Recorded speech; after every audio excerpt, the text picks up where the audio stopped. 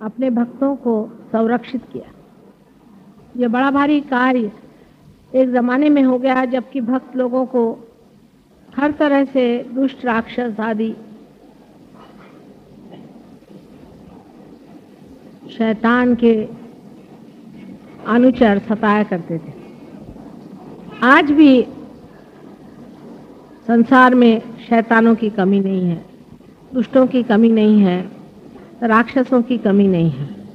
और इनके जो राक्षसी विचार हैं और जो इनके गलत तरीके हैं, उससे आज सारा ही संसार ज़्यादा ही लिप्त नज़र आ रहा है। और इसीलिए इनमें से निकलने के लिए भी मनुष्य अधिक प्रयत्न कर रहा है। इस नवरात्रि में न जाने कितने ही लोगों का रियलाइजेशन हुआ है और बहुत से लोगों ने इस आत्म ज्ञान को पाते वक्त अपने अंदर की जो कुछ भी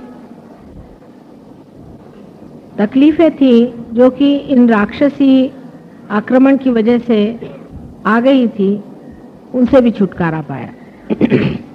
लेकिन सबसे बड़ी बात यह है कि सहयोग में आप स्वयं भी जागरूक हो गए।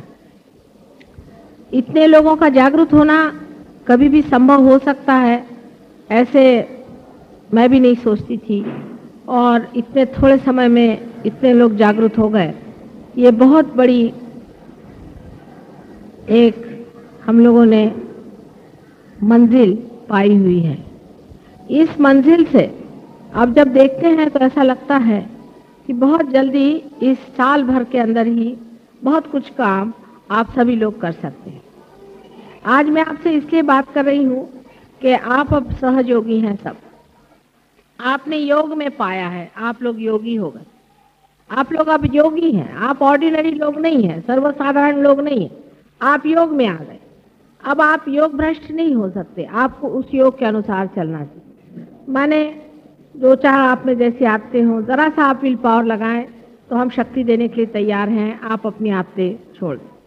बहुत ज़्यादा बोलना, बहुत कम बोलना, ये भी ठीक नहीं। सब चीज़ में बीच बीच में आना है। कोई अति पे नहीं जाना। कोई आदमी हर समय पैसे की बात सोचता है या हर समय किसी सत्ता की बात सोचता है, उसको भी बीच में लाना चाहिए। अपने मन को बीच में लाना चाहिए। मतलब ये कि निर्विचारिता में आना चाहिए। अपनी निर्विचारिता को आप धीरे धीरे बढ़ाएँ। जितना निर्विचारिता का विलंब का स्थान बढ़ता जाएगा, उतने ही आपके अंदर में परमात्मा की शक्ति ज़्यादा बढ़ती जाएगी। यानी आपका कैलिबर जो है वो वाइडर होते जाएगा। और आप में से ज़्यादा शक्ति बढ़ती जाएगी। अब जब ये ज़्यादा शक्ति आपसे बढ़ रही है, तब इस शक्ति को भी उपयोग में लाना चाहिए। कर शक्ति बढ़ती गई और आपने उसको उपयोग में नहीं लाया तो हो सकता है कि थोड़े दिन बाद ये कैलिबर फिर छोटा हो जाए। अब आपको घर जाके बैठना है और सोचना है, मनन करना है कि हम किस तरह से सहयोग को बढ़ा सकते किस किस जगह हमारा स्थान है, कौन लोग हमें मानते हैं, उनकी लिस्ट बनाइए। कौन सी ऐसी एरियाज़ हैं जहाँ हम जा करके इसको प्रस्थापित कर सकते हैं?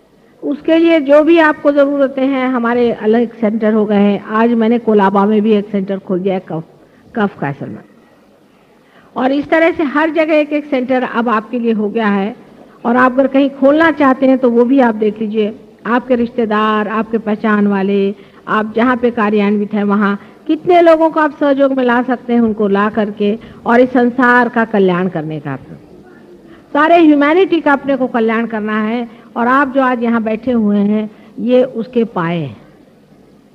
आपकी ज़िम्मेदारी बहुत ज़्यादा है और मेरे ख्याल से सहयोगी अपनी ज़िम्मेदारी नहीं समझते। बीस पच्चीस आदमी अगर ज़िम्मेदारी लेकर के चले तो सहयोग नहीं चल सकता। हर आदमी को चाहिए कि अपनी अपनी ज़िम्मेदारी समझें।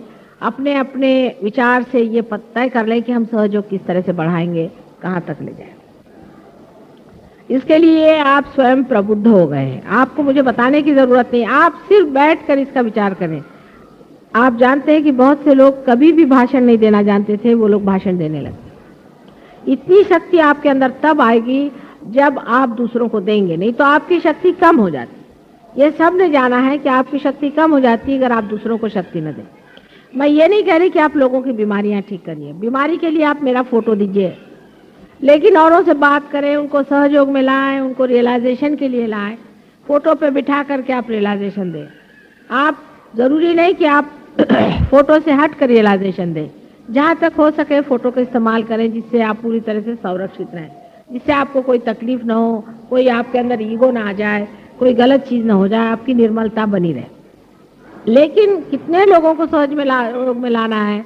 ये बहुत ज़रूरी है। जितने आप ज़्यादा सहयोगों को अंदर लाइएगा, उतना ही आपका भी सहयोग बलवत्तर होगा लेकिन इसके लिए ये ज़रूरी तो है कि आप भी पक्के सहयोगी हों। अगर आप ही डावाडोल है तो आपके साथ आए हुए भी बेकार गए क्योंकि जो आपके साथ आएँगे, वो आपके साथ ही डूबेंगे। इसलिए आप भी अपने को पक्का कर लीजिए। अपने को पक्का करना बहुत ज़रूरी है।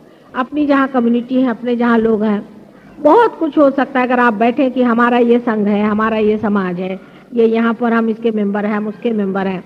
या किसी के आप मेंबर हो जाइए जहाँ ऐसे ऐसे समाज है और उनसे आप बातचीत करें क्योंकि हमको सारे संसार को बदलना है, बहुत बड़ा काम।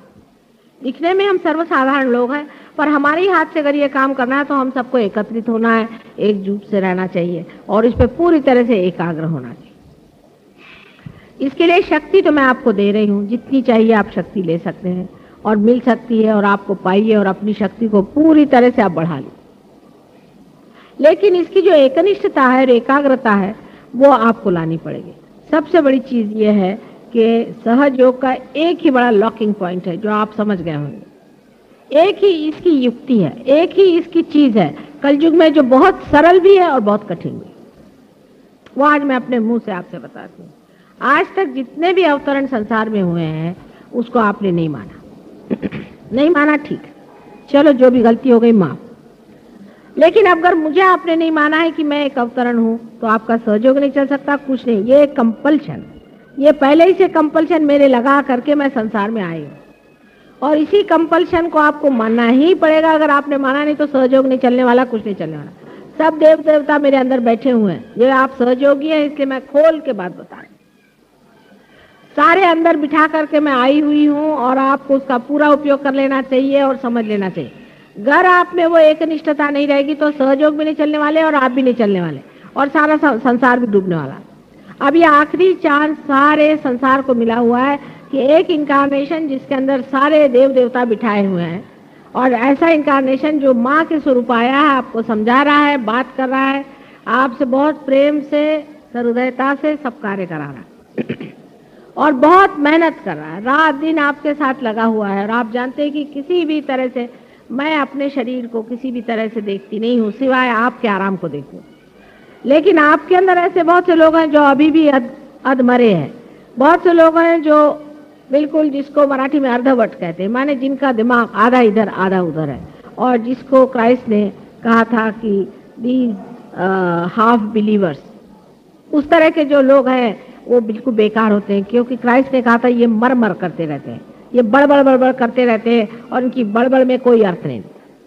बेकार की चीज़ की तरफ़ बहुत लोगों का चित्त जाता है, लेकिन असली चीज़ की तरफ़ उनका चित्त नहीं जाता। ये बहुत गलत बात है, और इसलिए सहयोग के जो नियम है, उनको पालना ही चाहिए।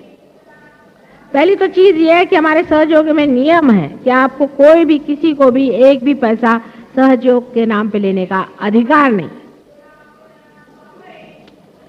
जिस प्रकार आप कोई सा भी कार, अनधिकार करने से आप पे नुकसान होता है, उसी तरह से अनधिकार, एक भी पैसा आपने लिया है तो आपको नुकसान होगा। ये बिल्कुल मैं आपसे बता देती हूँ कि सहयोग में अपने पर्सनल खर्चे के लिए किसी को भी एक भी पैसा नहीं लेना चाहिए। और आप जानते कि मैं खुद ही अपना घर का पैसा खर्चा करके कितने काम करके आई हूँ। लेकिन दूसरी बात भी इसकी होनी चाहिए कि सहयोग ये हालाँकि बिल्कुल बगैर किसी मूल्य के सबको मिलता है। लेकिन इसका मतलब नहीं कि ये चीप चीज़ है। ये सस्ती चीज़ नहीं है, ये बहुत मूल्यवान चीज़ सभी सहजियों से विनती है हमारे इस चैनल को सब्सक्राइब करके सहज को फैलाने में हमारी मदद करें। जय श्री माता जी।